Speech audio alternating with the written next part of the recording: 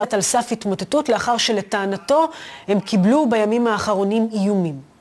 המשפחה הזו, משפחת עזריה, גייסה את דיקן הפקולטה למשפטים בקריה האקדמית אונו, יובל אלבשן, שפרסם פוסט ויראלי לפני כמה שבועות, שבו הוא טען בגדול שאלאור עזריה קיבל יחס מפלה, וגם ננטש על ידי החברה הישראלית, גם משום שהוא מגיע ממשפחה ממוצא מזרחי ומהפריפריה.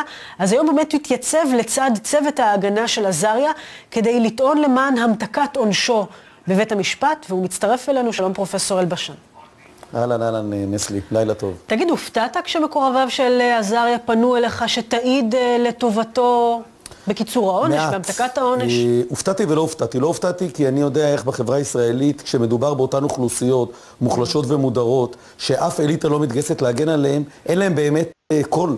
ואין להם באמת מגן, ואין להם באמת מישהו שיבוא לעזור. אני הרגשתי שזה ממש לא הגון להשאיר אותו ואת משפחתו לבד. אתה בכלל הכרת אותו אישית? מכיר אולי את המשפחה? הכרת מישהו? אני לא, לא, לא, אין לי שום היכרות אישית. שוחחתי לפני העדות, כדי לתת את העדות, פעמיים עם אמו ועם אביו. את אלאור עזריה פגשתי פעם ראשונה היום בבית הדין, ויצא לי שעה ארוכה לחכות יחד איתו ולשוחח איתו, אבל לא יותר מזה, לא. ותגיד, איך התרשמת? אני באתי בתור מומחה של... יש הרי הבדל בין התיאוריה למציאות. אתה טענת שהוא נזנח והופלא בגלל שהוא מזרחי ובגלל שהוא מהפריפריה, ואז אתה פוגש את האדם עצמו, את החייל עצמו, ומה אתה רואה שם? ראיתי משפחה נורמטיבית, ראיתי בחור צעיר שלא מבין בכלל מה קורה סביבו, שיש לו חברים מוסלמים ויש לו חברים אחרים ברמלה, שהוא בכלל לא מבין את עומק הבור שהוא מצוי בו, שהחלום שלו היחידי היה להיות בשירות הביטחון, ושאחרי הצבא הוא רצה ותכנן להצטרף לימ"מ, וכל זה כדי להבטיח ביטחון לו ולילדיו ולבית שהוא יקים. ובכל זה אתה גם משפחה, משיר כן. מבט אל העבירה החמורה שהוא ביצע, אתה רואה גם את המעשים שבהם הוא הורשע כשאתה פוגש את האיש? תקשיבי נסלי, אני לא מתבלבל.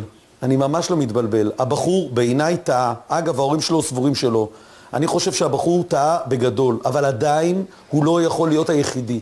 לא יכול להיות שהוא בעיניי יוקרב כשכל השאר, ולא שאתה משתמש במילים הקשות האלה, יוקרב כסה, כי, וכל השאר לא יהיו. לא יכול להיות שהוא יעמוד שם והמפקדים לא יעמדו איתו. לא יכול להיות שהוא יעמוד שם והשר לא יעמוד איתו. לא יכול להיות שהוא יעמוד שם ו... הפוליטיקאים ששוב ושוב אמרו ואמרו, לא יכול להיות שמחבל יצא חי מזירת אירוע, לא יעמדו איתו. אז זה לא שאני לא, לא מביט עיניים למעשה, אבל אני גם רואה את העושה.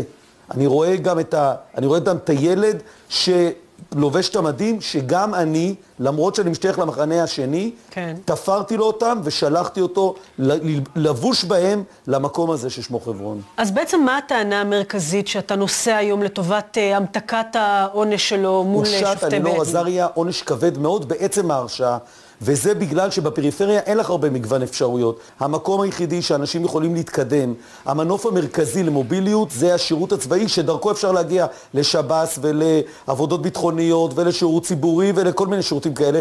עצם ההרשעה היא כבר עונש כבד מאוד, להבדיל לו היה בא מהמקום שבו אני חי היום, שזה גם היה עונש, אבל לא כבד באותה מידה. ברור. פרופסור אלבשן, תודה. תודה לך נסלי ולילה טוב. תודה, תודה.